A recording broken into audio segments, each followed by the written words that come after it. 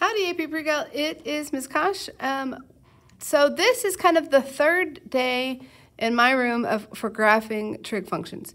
And so the very first day, we defined what it meant to be periodic, and then we graphed the parent functions of sine and cosine, and we used spaghetti. Um, then the second day, we used sine and cosine to help us graph secant, cosecant, tangent, and cotangent. So we've graphed now all six parent functions.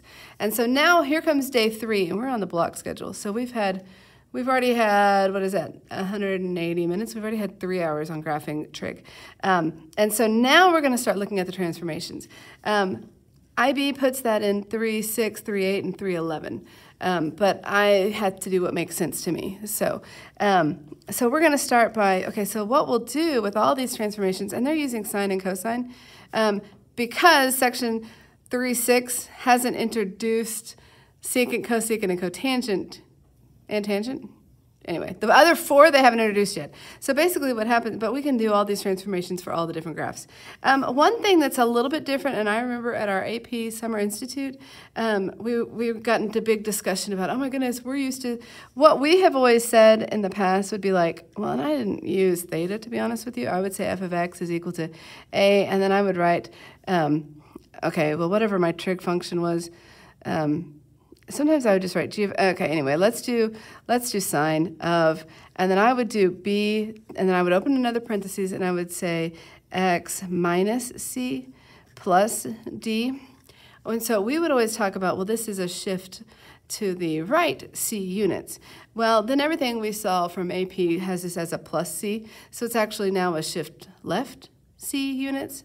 Um, so just make make the transition. If you're used to seeing a minus sign here, sorry, I don't know why AP wanted to do this, and we started arguing, and I'm like, everybody's fine, just just say what's happening. This is going to move you.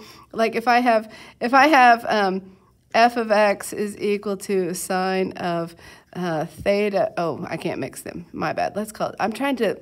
The notes that I've seen have a lot of theta there, um, minus pi over two. Well, what is what's my trans my transformation? I have moved it to the right pi over two okay, I don't really care what C is. What I care about is that I've moved it to the right pi over 2.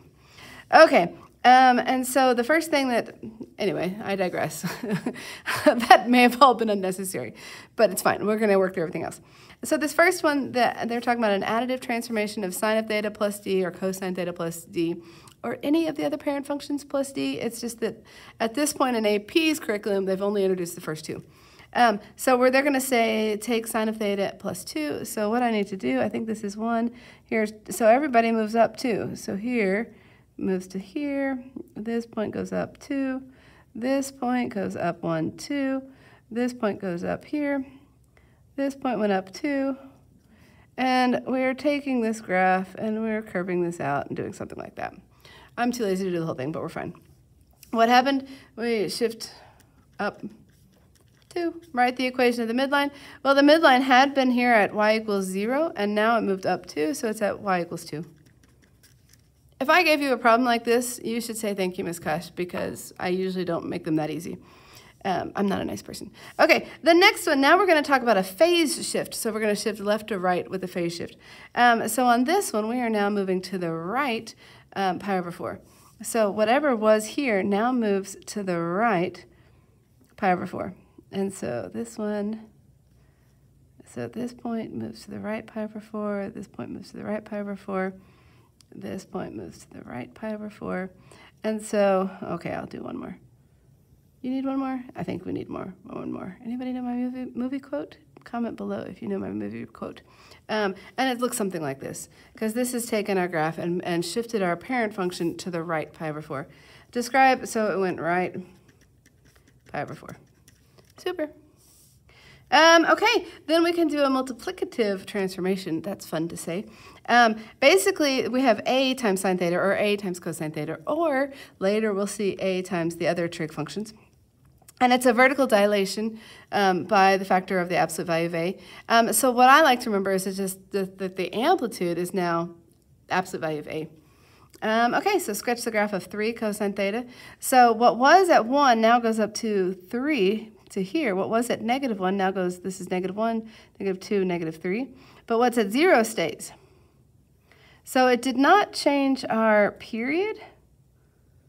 Um, where are we? Oh, hang on. Sorry. Um, I graphed more of this one, I guess.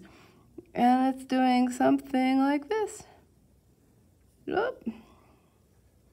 Ish. Okay. Um, but make sure they're not straight lines. I think I talked about that. And this should be concave down, and then it turns and it's concave up. My graph looks a little funny there, but you're fine. Uh, describe, it, so it's a vertical dilation of 3. Find the amplitude. It's 3. That's that problem. That was fun. Okay, continuing on. We can also have um, this b value here, and this is going to change our um, horizontal dilation. And so it's um, a horizontal dilation of the graph of sine or cosine, and actually the other ones also, we just don't know them yet officially, by a factor of 1 over b, or the absolute value of 1 over b. To be honest with you, I, in all the years I've taught pre-cal, I have never made the b value negative. Um, who knows what AP is going to do, but I, I would be surprised. Well, I don't know that it would it would be something I would have to learn. How about we say that if they make the b value negative? But okay. And so the period is changed by a factor of 1 over b. What I like to point out is that that means our new period is equal to the parent function period over b. So what we would typically say with um, with sine, with cosine, and there's two others that have a parent function period of 2 pi. Um, if you don't know what those are yet, go back and watch my graphing from sine and cosine videos. But it's um, is cosecant and secant. Those those four parent functions, um, their their period, the parent function period is 2 pi, so the new period will always be 2 pi over b. Tangent and, and cotangent, however, have a period of, their parent function has a period of pi, so their new period would be pi over b. Okay, so um, sketch the graph of this one. So now what it's done is it's um, described the horizontal dilation. It's got a dilation by one half. So instead of getting here, it's going to get there sooner. So this is the period to there, so it's going to do everything by in half that amount of time. So where are we? This is weird. I'm not used to graphing them together. Okay, so that, and then we go back to zero, and we go back to here. So it's going to do, am I right? Well, we're about to find out. Oop, oop concave up, concave down, concave up, concave down, and something like that. Is that right?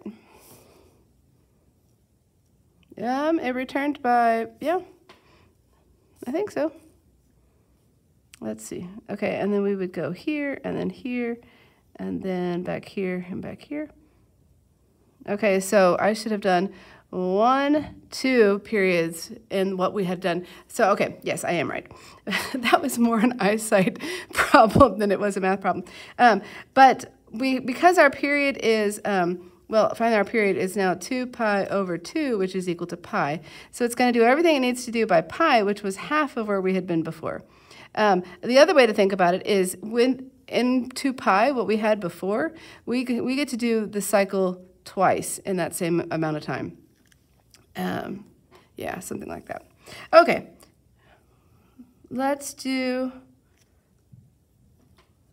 actually, let's come back for the next video. Good luck. We'll see you soon.